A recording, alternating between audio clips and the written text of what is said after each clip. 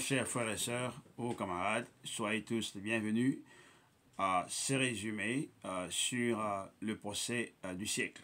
Vous savez, depuis hier, à mardi 3 septembre, le procès du siècle contre Chairman Malaysia et le mouvement où a commencé. Et c'est un procès contre la liberté d'expression. Alors, on va donc vous faire ces résumés de ce qui s'est passé hier, début du procès sur la liberté d'expression euh, contre o 3, sélection du jury et plaidoirie. Euh, le premier jour du procès du siècle pour la liberté d'expression a commencé par une conférence de presse en face du palais de justice fédéral de Tampa en Floride. Défenseurs de la liberté d'expression et militants pour la justice sociale de partout aux États-Unis ont exprimé leur soutien à o 3. Quand je dis o 3, ça veut dire Chairman à Péniès et Neville. Faussement accusé d'être de pions secrets dans une conspiration du gouvernement russe visant à s'aimer la discorde et à interférer dans les élections aux États-Unis. La conférence de presse était animée par Moisy Odon, présidente de Hands of Oro Campagne. Elle a déclaré que la fausse accusation du gouvernement selon laquelle l'appel à des réparations et une pétition de l'accusation de génocide contre les Noirs par les Hauts-Trois et l'opposition du groupe aux guerres américaines ont été menées sous le contrôle du gouvernement russe constituent un déni raciste que les Noirs n'ont pas des intérêts légitimes propres pour nous-mêmes. Nous pouvons penser par nous-mêmes et définir notre propre agenda. Jill Stein, candidate du Parti vert à la présidence des États-Unis, était présente elle-même ayant été également ciblée en raison de ses opinions sur la Russie et critique de la politique de guerre américaine, Stein a déclaré L'attaque contre les hauts droits est fondamentalement une attaque contre la liberté d'expression, contre notre droit de nous opposer aux guerres sans fin et à l'oppression économique à l'étranger, c'est-à-dire le colonialisme. C'est une attaque contre notre droit de nous opposer au coût de ces guerres sans fin chez nous, à savoir l'austérité économique, non, il faut penser qu'être blanc est une protection contre la résurgence du fascisme. Tout le monde est menacé par cette agression sur la démocratie et nous devons lutter ensemble pour les hauts droits. Charles Barron, ancien membre conseiller municipal de New York, ancien membre de l'Assemblée de l'État de New York, ancien membre du Black Panther Party et chef de l'opération à Power, a averti. Ils ont commis une grosse erreur ici en attaquant Omar là, s'en prenant au fils de Malcolm X, au fils de Martin Luther King, au fils de Dessalines, au fils de Panthère Noir, tous ceux qui se battent pour la justice, et ils le font maintenant parce qu'ils sont désespérés. Nous sommes en train de gagner. Et Fia Mangaza, directrice exécutive du Centre Malcolm X pour l'autodétermination, et euh, de l'air station des radios de la communauté de Greenville, en Caroline du Sud, s'était rendu à Tampa pour soutenir les Hauts-Droits. C'est un vétéran et leader du comité de coordination des étudiants non violents, l'organisation responsable de l'enregistrement des Noirs comme électeurs dans les, dans les Sud des États-Unis dans les années 60. German O'Malley était aussi l'organisateur sur le terrain en Floride avec les comités d'étudiants non violents dans les, dans les, années 60, bravant les lynchages et violences afin d'obtenir le droit de vote pour les Noirs. Mangaz a déclaré Nous avons déjà vu ces films. La situation est aussi grave aujourd'hui qu'elle était en 1965, lorsqu'il tentait de faire taire le SNAKE, c'est-à-dire les, les comités euh, d'organisation des étudiants non violents, et Julian Bond. Les Noirs ont résisté au contrôle mental dans ce pays depuis que le premier Africain a été arraché du continent et amené des forces en Amérique du Nord. Femme Africa venait de Philadelphie où son organisation Move Family Africa a été à deux reprises la cible d'une violente agression de la part de la police et des forces militaires américaines, y compris le bombardement aérien de leur maison en 1985, qui a, qui a tué 900 enfants et femmes et des hommes et ont incendié plus de 65 maisons. Sœur Pam a déclaré nous ne venons pas ici pour chercher justice, nous venons ici pour dénoncer l'injustice. Ce n'est pas quelque chose qu'ils ont très bien pensé. Ils ont donné notre frère, à l'organisation ORO, chaque combattant de liberté ici, une plateforme internationale pour exposer exactement ce que font ces gens et dans quelle mesure ils le font. Caleb Mopin a apporté le soutien du Centre euh, for Political Innovation, un des premiers et indéfectibles défenseurs de Ouro 3, qui a porté cette affaire à la connaissance du monde, a déclaré. Plutôt que de persécuter les chairman O'Malley, il devrait étudier ce que chairman O'Malley a réalisé, plutôt que de persécuter les partis socialistes africains et le mouvement Ouro. Il devrait examiner ce qu'ils ont fait pour améliorer la vie des gens euh, dans ces villes. S'ils veulent gagner, ils devraient étudier ces politiques. Ce qu'ils devraient faire au lieu de jouer à ces jeux stupides sur la Russie. Benjamin Prado, sous-secrétaire de l'Union de, euh, del Barrio, euh, une organisation de Mexicains euh, aux États-Unis, a amené un contingent de sa base à de Californie dans le sud du pays en tant qu'organisation qui entretient une relation fraternelle depuis 40 ans avec le Parti socialiste du peuple africain. Il est clair que nous, il est clair pour nous qu'il s'agit d'une attaque contre nous tous, pas seulement d'une attaque contre la communauté africaine, c'est une attaque contre la communauté mexicaine aussi, parce que nous avons le droit absolu d'exprimer nos pensées, d'exprimer nos idées et d'apporter ce message d'unité à notre peuple. Ce qui est jugé, euh, ce sont nos droits démocratiques, nos droits humains et, comme on dit, nos droits civiques. Jacqueline Luckman a apporté une déclaration d'Ajam Baraka, président de la Black Alliance for Peace, qui en partie a dit ceci. Nous déclarons que l'Alliance euh, Noir pour la paix euh, condamne les inculpations fédérales contre les hauts droits et les dénis de leurs droits humains fondamentaux à la parole, à l'association, à l'information et à la dissidence politique sur toutes les choses euh, sur lesquelles nous sommes censés être libres de nous exprimer dans ce prétendu bastion de la démocratie. Ce n'est que dans l'imagination des suprémacistes blancs que les Africains auraient besoin de blancs intelligents en Russie pour guider notre peuple dans des mouvements d'opposition contre les guerres par procuration des États-Unis et de l'Union européenne et de l'OTAN contre la Russie et analyser et commenter tous les aspects de la politique étrangère américaine. Zaki Barouti, de l'Organisation universelle du peuple africain, est venu de Saint-Louis à Tampa et a prédit Nous sommes victorieux. Malcolm X disait de ces deux partis politiques, ici pardon du Parti démocrate, et euh, le Parti républicain. L'un était un loup et l'autre un renard. Un d'entre eux vous mangera. Cet argent utilisé pour le génocide devait être utilisé pour des réparations aux Noirs, pour les années d'esclavage et l'oppression que nous, continuons à subir dans ces pays. À cette fin, nous sommes totalement solidaires avec le mouvement Ouro et nous serons victorieux. Cam Howard, leader de Réparation United, est venu de Chicago pour assister au procès du Ouro 3. Il a déclaré Bien que ce soit les jours d'ouverture du procès Ouro 3, il s'agit en réalité de la poursuite d'un procès vieux de 400 ans contre le gouvernement des États-Unis pour le génocide du peuple africain. Betty Davis, leader du nouveau mouvement abolitionniste et membre de la Black Bar Coalition for Social Justice and Reparations, est venu de New York pour parler au nom des prisonniers politiques. Je viens défier le pays qui compte plus de prisonniers politiques que tout autre pays au monde. Peu importe si nous sommes d'accord sur chaque principe. En tant que des êtres humains, alors nous devons avoir le droit de dire notre vérité. Nous ne sommes pas, nous ne sommes pas humains. Ces pays prétendent avoir réglé la question des droits de l'homme pour tous. Vous devez soutenir vos droits libérer tous les prisonniers politiques présents dans les camps de la mort dans ces pays.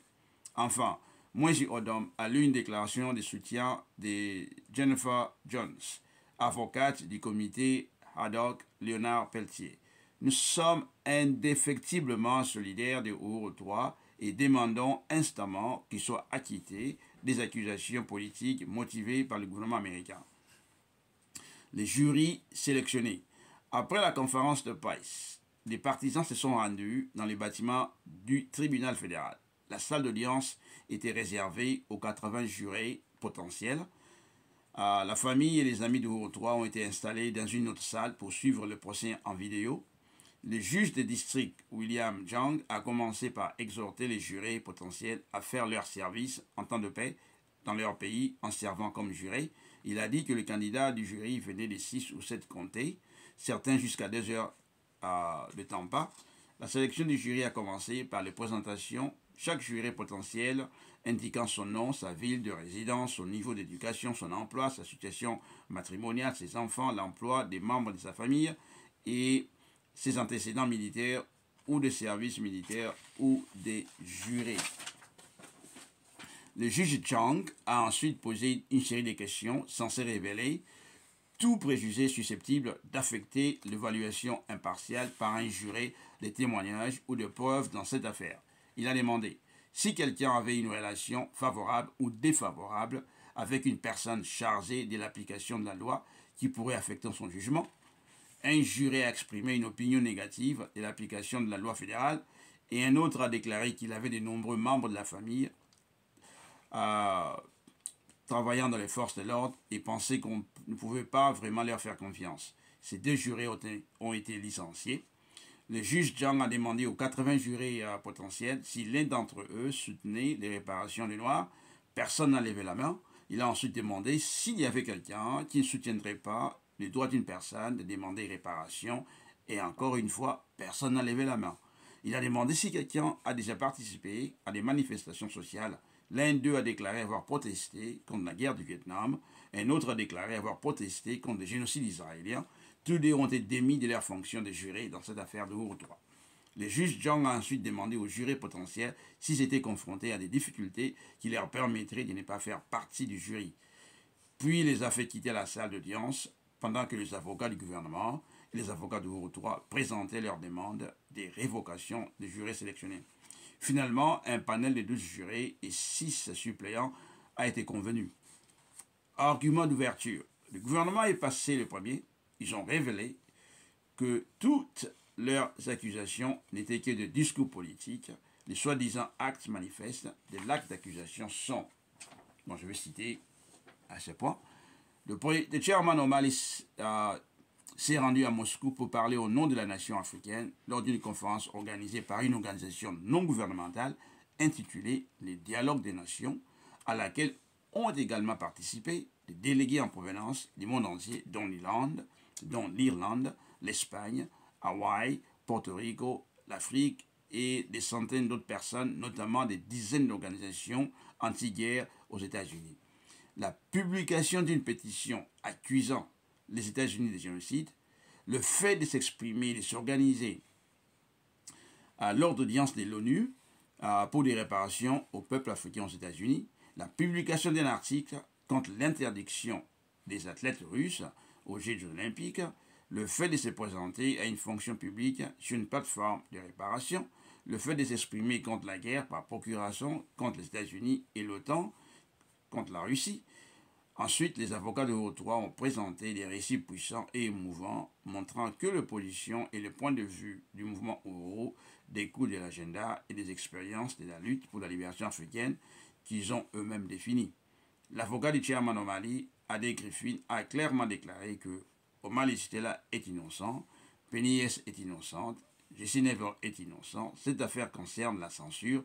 C'est une attaque du gouvernement américain pour censurer les convictions politiques du Parti socialiste et du peuple africain. Elle a déclaré au jury que ce procès serait une unique opportunité de connaître l'histoire de Mali là et la perspective politique du Parti socialiste du peuple africain et de comprendre intimement son dévouement de toute une vie envers le mouvement de libération du peuple africain du monde entier. Elle a dit, vous finirez par le connaître en tant que chairman.